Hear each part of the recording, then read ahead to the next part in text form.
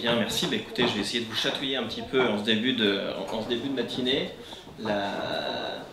Dès que le diaporama sera en place, c'est parfait, presque. C'est toujours quand on s'occupe de numérique que ça ne marche pas. Merci Marine. Bien, donc euh, euh, je vais prendre quelques minutes pour euh, vous parler un peu de, des enjeux autour des territoires d'intelligence. D'abord, peut-être vous dire deux mots sur, moi et sur mon parcours. Aujourd'hui, je suis expert auprès du commissariat général d'investissement, enfin ex-CGI, qui s'appelle SGPI maintenant, sur tous les fonds d'innovation, et notamment les fonds TIGA, territoire d'innovation de grande ambition avec euh, tous les enjeux de, Smart City. C'est un programme d'un an avec à la clé 500 euh, millions de projets, avec des vrais enjeux d'innovation territoriale, avec euh, des problématiques de réplicabilité assez proches de ce que vous venez d'évoquer ici pour la métropole du, Grand Paris. J'ai rejoint le comité de pilotage de la chaire Smart City à, la Sorbonne Business School avec Carlos Moreno, dont je pense certains d'entre vous ont entendu parler, qui est un des grands experts mondiaux autour des territoires intelligents.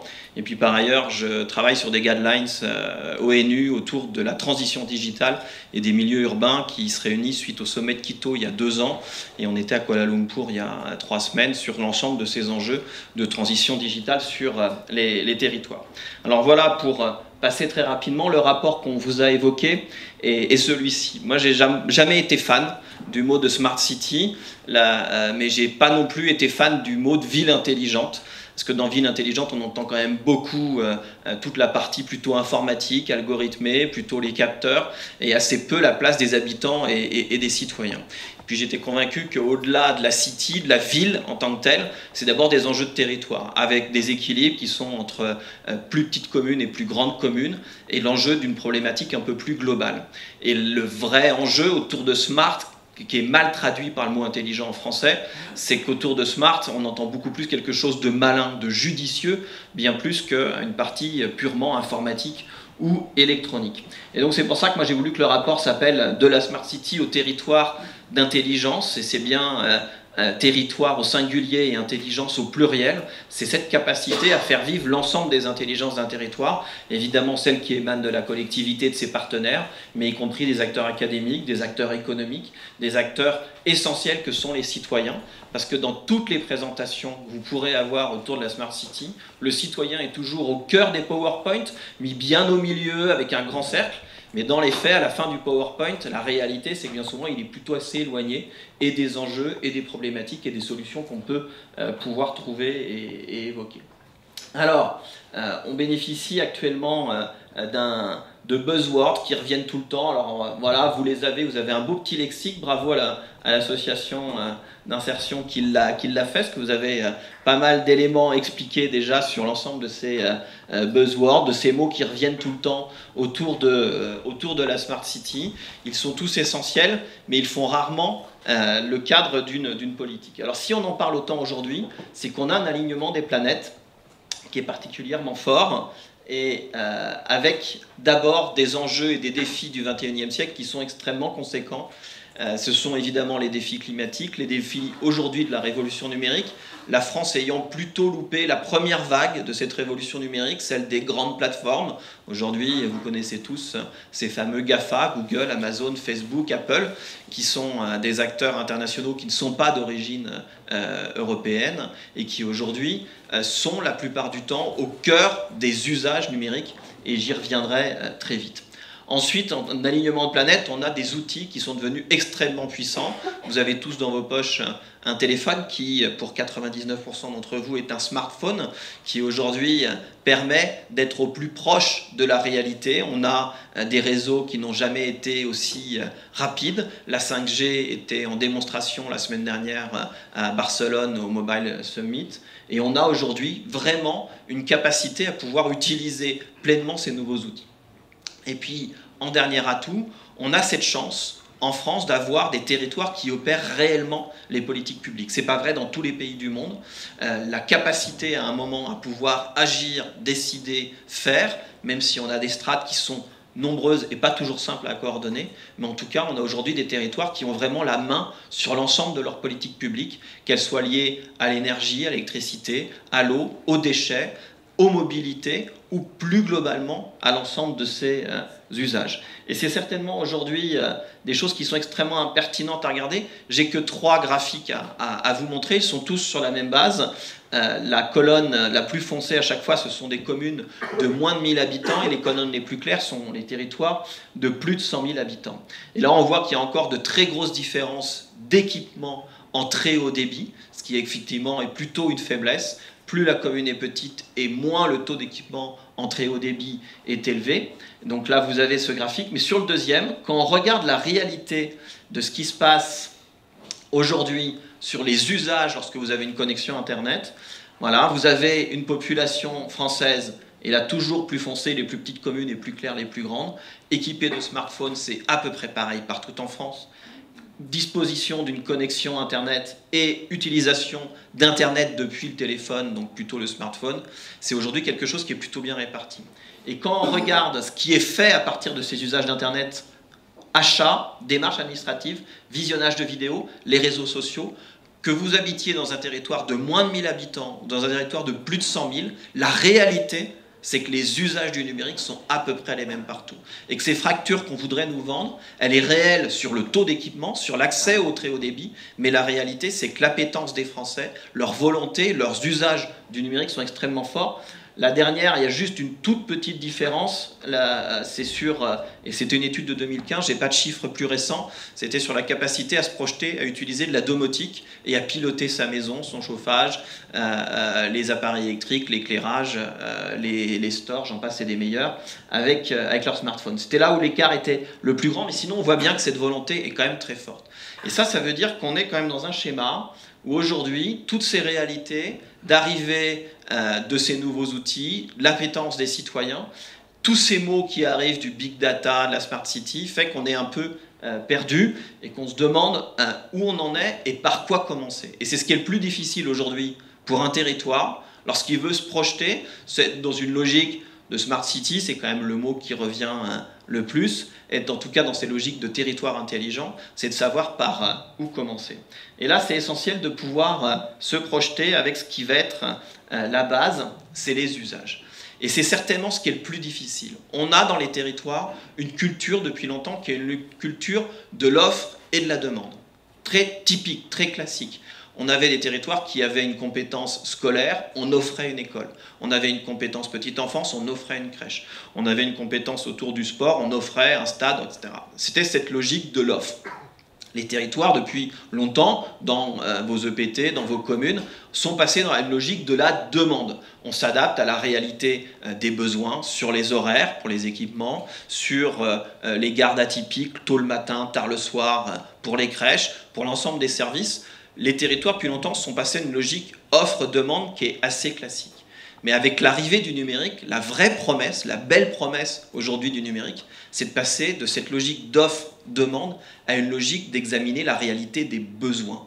Alors je ne sais pas si parmi vous, il y a des gens qui ont déjà géré des services de petite enfance. Et c'est certainement le service le plus révélateur de cette différence entre la demande et le besoin. Quand vous voyez des familles, la demande de garde d'enfants, elle est toujours très large. C'est tous les jours du mois, c'est tous les jours tôt le matin et ou tard le soir.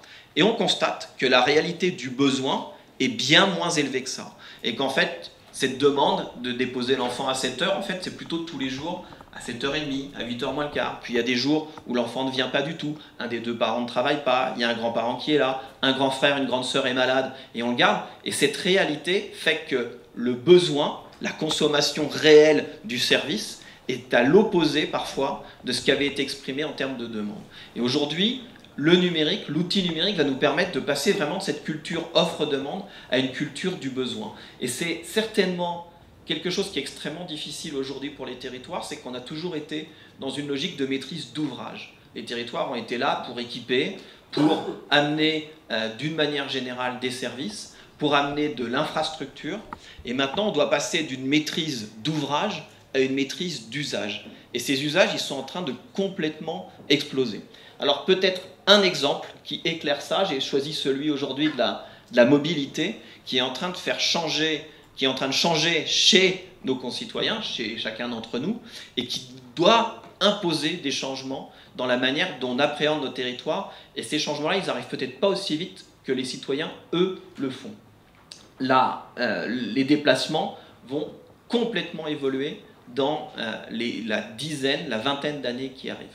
L'ensemble de la gestion des parcs de véhicules, et notamment des véhicules autonomes, vous l'avez peut-être vu, le CES de Las Vegas, donc avec toutes ces innovations technologiques début janvier, a surtout été l'objet de présenter des véhicules autonomes qui sont en fonctionnement. Là, vous en avez euh, quelques-uns qui sont présentés. Alors, le premier, Merci. Celui-là, euh, c'est euh, le NADO, c'est l'équivalent de l'ADEME japonais, qui très tôt a décidé d'équiper ces territoires ruraux pour les personnes âgées, pour qu'elles puissent accéder aux services médicaux avec des véhicules autonomes qui sont déjà en circulation depuis plusieurs années. Ensuite, beaucoup plus proche de chez nous, vous avez ici le véhicule qui, cette année, là, en 2018, va circuler en circulation réelle. Ce sera plus la navette qu'on a sur le parvis de la Défense, ce sera plus la navette qu'on a sur le pont entre Austerlitz et euh, Gare de Lyon qui roule à 3 km/h sur un pont tout seul sur sa voie. Là, on sera en circulation réelle. Et ça, c'est cette année, en 2018, avec un service qui s'appelle Last Mile. L'idée, c'est vraiment euh, d'être sur le dernier kilomètre. Et lorsque vous arrivez, ces navettes vont circuler, pardon, ces véhicules autonomes vont circuler sur le campus de Rouen. Et en fait, vous arriverez avec les moyens de transport en commun classiques. Et pour aller jusqu'à la fac de lettres, pour aller jusqu'à l'unité euh, de l'INSERM, vous aurez ce véhicule, vous montez dedans, c'est un robot taxi, et vous lui dites je veux aller à tel endroit. Et lui circulera avec la circulation réelle, avec les piétons, les passages pour piétons, les feux, les carrefours, les ronds-points, etc. Donc ça, c'est cette réalité-là aujourd'hui des véhicules euh, partagés. Ensuite, celui-là, on l'a vu rouler, ou plutôt voler, euh, au mois de janvier à Las Vegas. On n'est pas prêt de le voir tout de suite dans notre métropole, mais c'est une réalité qu'aujourd'hui qui est posée. C'est juste pour dire que tout cela évolue. les véhicules autonomes, quand on en parlait il y a 10 ans, on avait l'impression de se projeter à un horizon très lointain. En fait, il est beaucoup plus proche que ce qu'on veut euh, bien croire. Et tout cela pose une question, c'est on en sera où de la réalité du parc de véhicules dans 12 ans? Et partout où je pose cette question, on a aujourd'hui en Europe 280 millions de véhicules. Et vous pensez que dans 12 ans, demain, 2030 hein, c'est quand même demain, euh, à l'horizon d'un territoire, on sera à plus ou moins de véhicules? Et beaucoup plus ou beaucoup moins? Qui se risque? C'est compliqué, hein, sur l'innovation. Eh bien, on sera à beaucoup moins. Parce que euh, Selectut aujourd'hui euh, de PricewaterhouseCoopers, là, on a 280 millions de véhicules, on va passer à horizon 2030 à 200 millions de véhicules. C'est-à-dire qu'aujourd'hui, cette pratique qui est en train d'émerger du sharing, du, car sharing, du partage de véhicules, quelles que soient ses formes, soit les navettes autonomes, soit euh, le Uber, soit le partage de voitures entre particuliers, soit le partage de voitures organisé par les territoires comme on a sur euh, Autolib, eh bien c'est quelque chose qui va exploser. Et si vous regardez la partie droite du graphique, en fait, le nombre de véhicules vendus par euh, l'ensemble des constructeur va exploser parce que tous ces véhicules, au lieu de rouler une heure, deux heures, trois heures par jour, eh bien, ils vont rouler 22 heures par jour. Et donc, on les usera beaucoup plus vite, il faudra les remplacer beaucoup plus vite. Par contre, la réalité de l'usage va exploser. Combien parmi vous ont aujourd'hui un véhicule en location option d'achat ou en location longue durée? Si vous voulez bien lever la main. C'est une poignée aujourd'hui. Je vous aurais posé la question il y a trois ans, il n'y aurait eu personne et vous serez le double, le triple dans deux ou trois ans, parce que la réalité n'est plus sur un schéma aujourd'hui de propriété de son véhicule, mais plutôt d'être sur une location option d'achat et de plus en plus même de compléter cela avec d'autres usages. Et ça, c'est une réalité d'un changement aujourd'hui qui est très fort. On voit y compris la jeune génération qui passe son permis de plus en plus tard, voire qui, dans les cœurs urbains, ne le passe presque plus du tout, trouve d'autres solutions de mobilité. Et ça, c'est extrêmement compliqué pour un territoire, parce qu'on continue aujourd'hui dans nos plans locaux d'urbanisme. Est-ce qu'il y en a qui sont dans des services d'urbain, là, aujourd'hui? Un, je suis désolé, ça va être pour vous, mais on continue dans les plans locaux d'urbanisme de prévoir un nombre de places de stationnement dans tous les ouvrages à 0,9, 1, 2 places de stationnement par logement. Alors je ne sais pas combien vous en êtes chez vous, 0,7. Voilà, et on est en train de construire aujourd'hui, là en 2018, d'imposer dans des permis de construire de bâtiments qui vont durer 50, 70 ans, des places de parking qui seront vides. parce que la réalité des usages sera complètement différente. Le véhicule autonome, dans 20 ans, dans 30 ans, sera la norme. Peut-être que ce sera que dans 40 ans, mais la réalité, c'est que dans 30 ou 40 ans, tous ces parkings qu'on fait construire aujourd'hui seront complètement vides. Que le stationnement en surface n'aura plus d'utilité parce que les véhicules seront en permanence en circulation. Et qu'aujourd'hui, même ce qu'on a en ouvrage sera déjà bien trop par rapport à la réalité de ce qu'on peut construire. Et pourtant, on continue de construire des parkings partout, d'imposer à chaque fois qu'on construit une nouvelle zone d'avoir euh, du, stationnement. Voilà, je crois qu'il faut réussir à se projeter. Cet exemple de la mobilité, il est extrêmement parlant, parce que la manière dont les usages ont changé. Et aujourd'hui, quel que soit le service que vous adressez dans un territoire, cette réalité des usages, elle est extrêmement forte et elle va imposer euh, de pouvoir penser complètement différemment l'innovation. Alors je crois qu'il n'y a personne des services euh, des affaires juridiques de quelques territoires, mais c'est aujourd'hui extrêmement compliqué de penser de l'innovation, quel que soit le sujet, avec le l'alibi parfait aujourd'hui qui est mais le code des marchés publics nous empêche d'innover. Ce n'est pas vrai. Ce n'est pas vrai. Aujourd'hui, vous avez des vrais outils autour du marché de recherche et développement qui existe depuis euh, les années 2010, autour des partenariats d'innovation qui vous permettent de construire réellement un partenariat pour construire un prototype. Et avant que ce prototype n'existe, vous choisissez une entreprise avec qui vous allez le monter. Et au fur et à mesure du projet, vous allez continuer à développer avec elle et acheter la solution que vous avez faite avec cette entreprise. Ça dure trois ans, ça permet vraiment et à l'entreprise d'éprouver euh, son prototype, à vous d'éprouver le service et de savoir si on va au-delà. Parce que la plupart du temps aujourd'hui, quand on ne prend pas ces solutions du Code des marchés publics, eh bien, on fait plutôt de la mise à disposition. On vous laisse sans lampadaire, deux rues, un bâtiment, trois véhicules. Une start-up ou une PME, voire même un grand groupe, expérimente. Mais quand il faut passer à l'échelle, on n'y arrive pas. Et aujourd'hui, c'est toute la difficulté des territoires. C'est que ce passage de la maîtrise d'ouvrage à la maîtrise d'usage, c'est le passage à l'échelle des innovations pas juste les expérimentations, c'est pas juste un moment se projeter et se poser. Et ça, c'est extrêmement difficile de le faire euh, seul dans son territoire. C'est pour ça que je crois que les initiatives comme celle-ci aujourd'hui ont du sens. C'est un moment pouvoir porter à une échelle autre, sortir le nez du guidon des projets et de l'ensemble des activités que l'on doit faire et pouvoir euh, se projeter euh, et aller au-delà. Alors, ce qui sera essentiel dans toutes ces discussions, c'est de passer par la data. Et la data va être au cœur de l'ensemble des innovations et de l'ensemble des usages. On a aujourd'hui une culture de la donnée dans les territoires qui n'est pas au niveau de ce qu'elle devrait être. Aujourd'hui, tous les grands acteurs que j'ai cités du monde numérique tout à l'heure ne sont que des acteurs qui fonctionnent autour de la donnée. Si les services sont gratuits, si vous avez Waze ou si vous utilisez Google Maps, tous ces services-là sont totalement gratuits. Alors, euh, vous connaissez l'expression, hein, si c'est gratuit, c'est vous le produit, mais la réalité, elle est là. Parce que ce que vous, vous ne donnez pas en argent, vous le donnez en data. C'est tout ce que, toutes les informations qui remontent, notamment quand vous utilisez Waze ou Google Maps, tout ce qui remonte à cette entreprise, c'est ce qui lui permet aujourd'hui de qualifier comment s'organisent les déplacements et de pouvoir dès demain être prêt, notamment dans la gestion des véhicules autonomes, à pouvoir apporter euh, l'ensemble du, euh, du, service. Alors, je terminerai juste avec euh, un, tout petit mot sur les enjeux de la, de la confiance et de la manière dont on va avancer sur ces questions-là. C'est un enjeu qui est extrêmement important, c'est que dans ce monde numérique, la question de la confiance avec les habitants, avec les citoyens, va devenir une question qui est essentielle. Et c'est une question qui n'est pas simple à traiter, parce qu'aujourd'hui, si vous demandez à un habitant de la métropole si euh, il a confiance dans sa collectivité locale et, euh, et, les élus, les agents territoriaux, le niveau de confiance est plutôt très élevé. Là, dans toutes les catégories aujourd'hui de structures, la confiance dans le local est forte. Et pourtant, quand vous leur demandez est-ce que vous êtes prêt à partager les données de votre smartphone, les données de votre consommation électrique sur votre compteur Linky, le réflexe est plutôt de dire non. Alors qu'aujourd'hui, si vous demandez à ces mêmes habitants s'ils ont confiance dans Google, Amazon et Facebook, le niveau de confiance est plutôt très bas, et pour autant, on leur confie tout. Et aujourd'hui, on leur donne tout de nos usages et de nos données. Et cet enjeu de confiance aujourd'hui sur les territoires, il est essentiel. C'est la manière dont vous allez pouvoir construire un schéma qui, sur un territoire, permette à un moment de se dire on a confiance dans la collectivité, dans l'usage qui va pouvoir être fait. Ça passe par des enjeux de charte de la donnée locale, de gouvernance de la donnée locale qui sont à construire. Et ce pas des questions qui sont extrêmement euh, simples, hein, parce que dans tout ce monde numérique, aujourd'hui, la réalité des usages est complètement différente. Je vais vous citer un exemple qui n'a rien à voir avec la, métropole, c'est le Crous à Rennes, c'était en septembre euh, dernier. la, le service de maintenance veut utiliser, faire de l'innovation, utiliser les nouvelles technologies pour régler des problèmes de maintenance dans une résidence étudiante.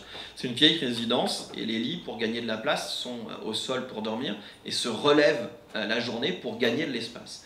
Et euh, ces lits sont utilisés par des étudiants comme barre de traction ou sont utilisés le soir pour être assis à 8 ou à 10 dessus pour organiser une soirée. Le service maintenance dit c'est pas possible, on esquinte nos lits, on va mettre un petit capteur qui est un capteur simple, qui est un capteur de mouvement pour ceux qui font des tractions, un, capteur de poids euh, lorsqu'on s'assoit à 6 ou à 8 dessus.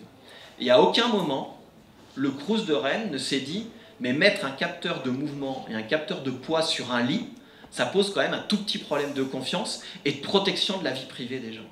Et aujourd'hui, c'est tout cet enjeu, c'est de pouvoir aujourd'hui pousser des innovations, de le faire avec un schéma, un cadre de confiance qui permette réellement aux citoyens se projeter dedans et d'être dans ce monde numérique. Ils sont déjà dans les usages. Ils le font déjà, ils ont déjà leur smartphone avec aujourd'hui toutes les applis, les Waze, les Maps, tout ce que vous pouvez avoir dessus, ils les ont déjà. Et pour autant, vous n'en profitez pas sur les territoires. Donc voilà, sur les enjeux aujourd'hui des territoires intelligents, de la Smart City, il y a un vrai enjeu à pouvoir construire une stratégie d'intelligence, de pouvoir pousser des innovations et de le faire dans un cadre qui permette vraiment que non seulement ça serve le territoire qui est le vôtre, votre commune, votre PT, mais que ça puisse y compris avoir des enjeux de réplicabilité et pouvoir porter au-delà. Ce cadre de confiance générale, c'est celui qui permettra que de cet usage individuel numérique qu'on a au travers notamment de son smartphone, eh bien, on puisse passer à un usage beaucoup plus large qui servent l'ensemble de la collectivité, parce que demain, autour de ces usages, vous pourrez qualifier la réalité des besoins, la réalité euh, des usages, des transports, de la manière dont les uns et les autres utilisent les services d'un territoire, se déplacent sur un territoire, et c'est ce qui permettra aujourd'hui d'être bien plus efficient et bien plus en face avec les réalités. Voilà, donc ce pari d'innovation, il n'est pas simple.